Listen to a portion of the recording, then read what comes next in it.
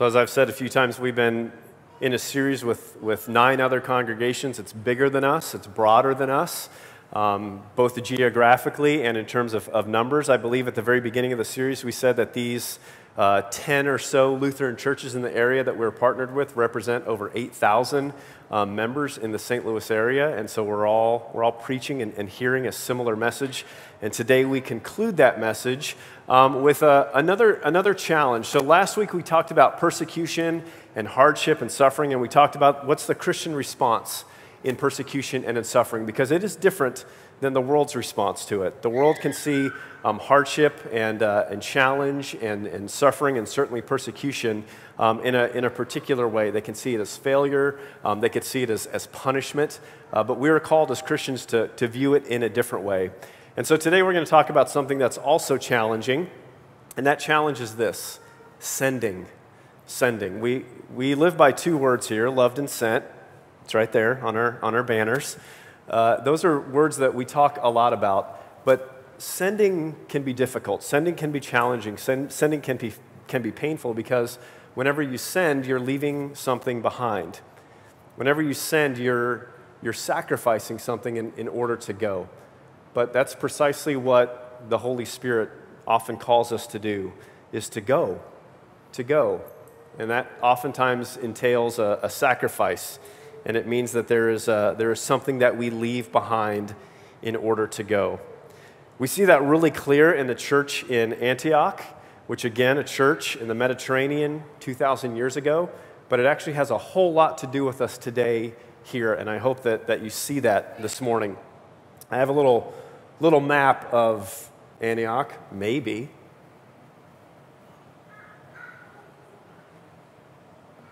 There we go. There we go. I love technology.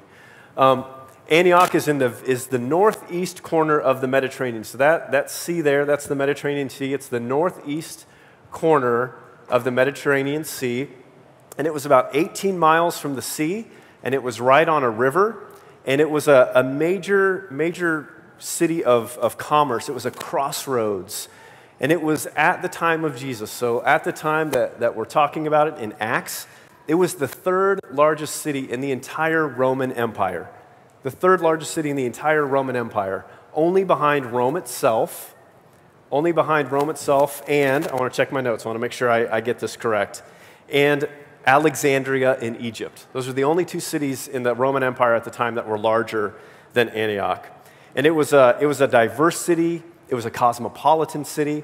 It was a major uh, thoroughfare. It was a major stop- stopping point on the Silk Route because, like I said, it had, it had access to the sea through the river, again, only 18 miles to the sea. But then it also was, a, was kind of the, the gateway into the, the desert region as it, as it spread to the east. And so it was, a, it was a big, bustling city.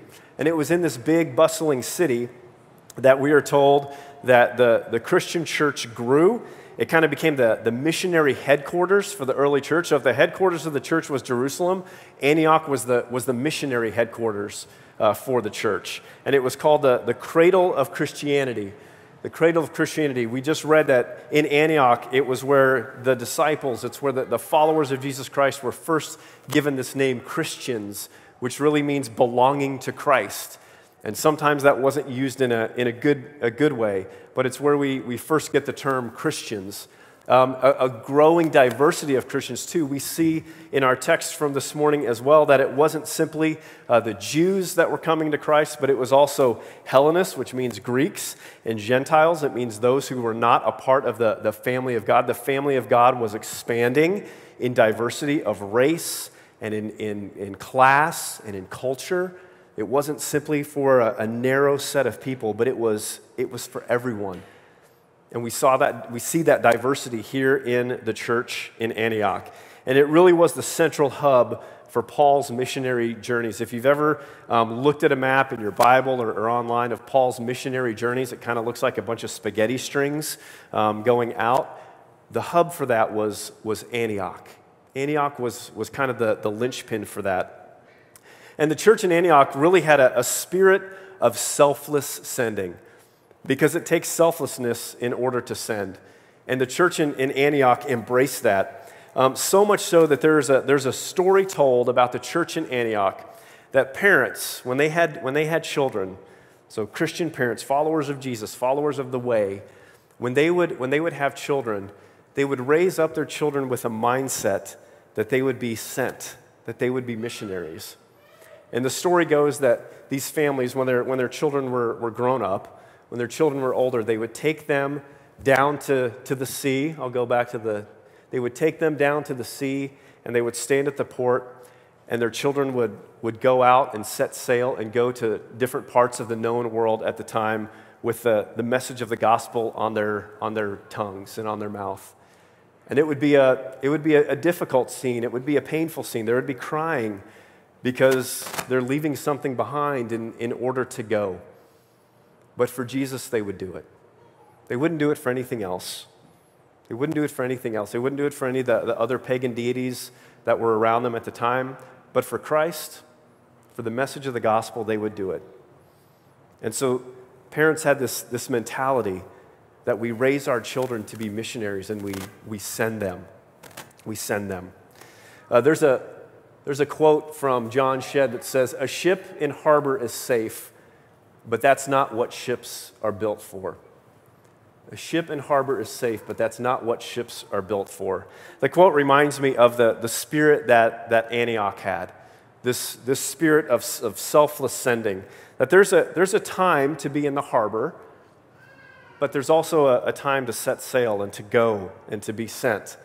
There's a, there's a purpose for a ship.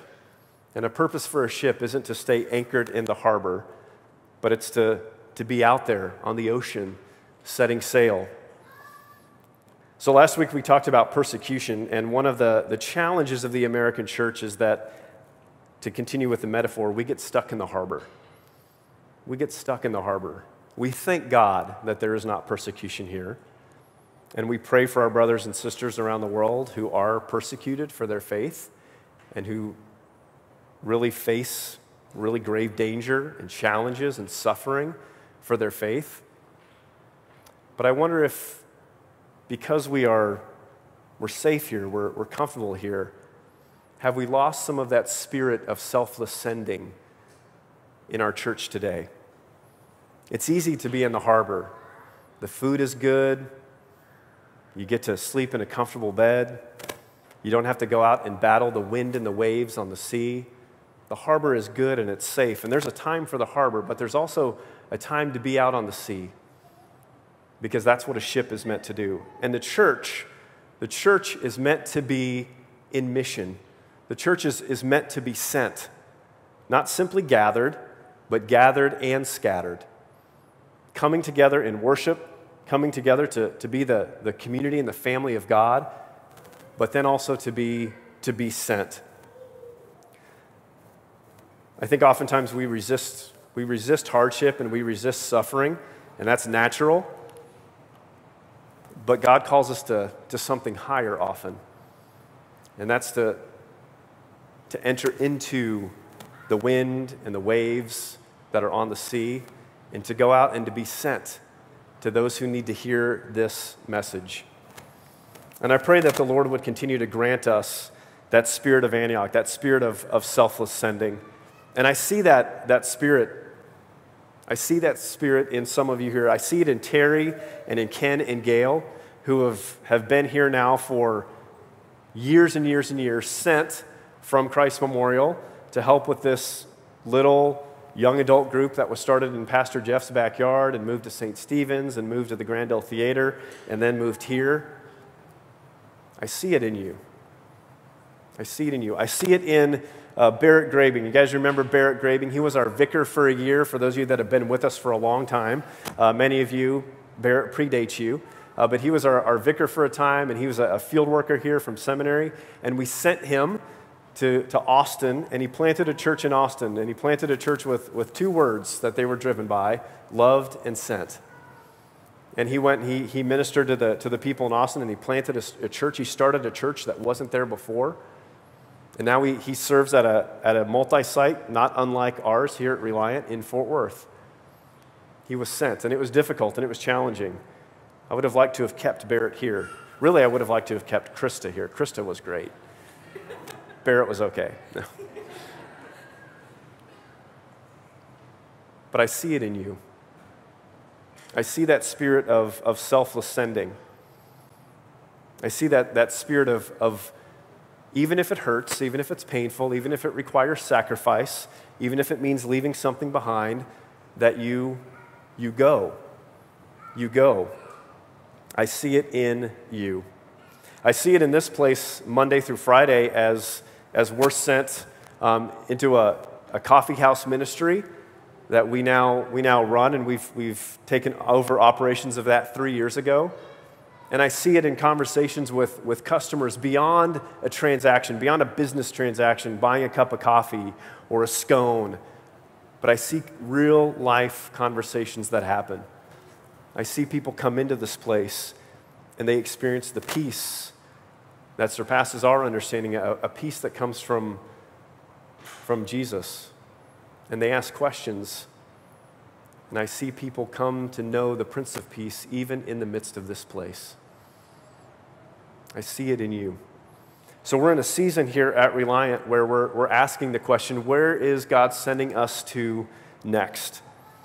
And sometimes those, those questions are scary because it means that it's time to not be safe in the harbor anymore, but it's time to, to set sail it's time to send. It's time to go. It's time to, to unanchor from the shore and to go out onto the waves and the wind of the sea. And that could be scary. But I believe God is calling us to something new and the next thing. What if God is calling us to continue to, to gather in this space, but not so that we can grow, not so that we can have more and more and more people in this space, but so that we can send. There's a lot of churches in our St. Louis area. There's a lot of churches in our St. Louis area, and there's a lot of churches in our St. Louis area that are, that are struggling. There's a lot of churches that are hurting. There's a, a lot of churches that, that have a place, but they don't have a people. What if we, what if we grew here so that we could send out there? What if we gathered in this place specifically so that we could send people out to other places? Other places like Emmaus Lutheran on South Jefferson, or Mount Olive over in Shaw, or St. Trinity down in the Patch. What if we took the Antioch mindset and said, I'm going to be in this place for a season so that I can go out and love and to serve in other places? And as we, we wrestle with those questions, we, we looked at churches like Antioch, a church 2,000 years ago in a place halfway around the world that we maybe seemingly don't have anything to do with. We have nothing in common with them, but actually we have a lot in common with them. The Lord is doing the, the same thing. The Lord is sending. The Lord is is calling us to, to go out. The Lord is saying, it's time to, to untether from the harbor and to go out and to spread and to share this gospel and to love others with this exact same message. What if we took that mentality as we ask questions of what is God calling us to next? So the question is where do we get this spirit of selfless sending from? Well, even if you haven't grown up in the church, you, you probably know the most famous Bible verse of all. Even if you've just watched sporting events, you see signs with this. Let's read these words together from John 3:16. For God so loved the world that he gave his only son that whoever believes in him should not perish but have eternal life. God sent his son. He sent his son into the world on a, on a rescue mission that no one else could accomplish. He sent him into the wind and the waves of the sea of this life that we experience. The sea in, in Scripture is always chaos, it's always out of our control, it's always trouble and turmoil. And that's exactly what Jesus entered into. He entered into our sea of trouble and turmoil and chaos. And he came and, and he pulled us up out of the waters and he rescued us and he redeemed us with his own life. Where does the church in Antioch 2,000 years ago and the church today in St. Louis, where do we get our spirit of selfless sending? We get it from Christ because he was the first one who was sent for us. God the Father didn't withhold his Son from us, but he, he sent him into the world. And he sent him on a rescue mission for each and every one of us.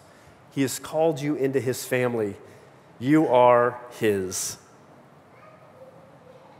The harbor was easier. The sea is, is wild and wicked, it's chaotic. But Jesus went, and he came on the rescue mission for you and for me to die the ultimate death that brings us life. And so we serve and are loved by a God of selfless sending. And it's in that security, it's in that harbor of His love and His grace and His mercy that will never let go, no matter what we face, no matter what storms in life we face, no matter what waves and wind come upon us. It's in the safe harbor of His love and His grace that we are able to set out and we are able to go and to be sent into places maybe that we normally would not go ourselves. But if Jesus sends, we will go. We will go. So may we continue to have the, the spirit of Antioch, the spirit of selfless sending,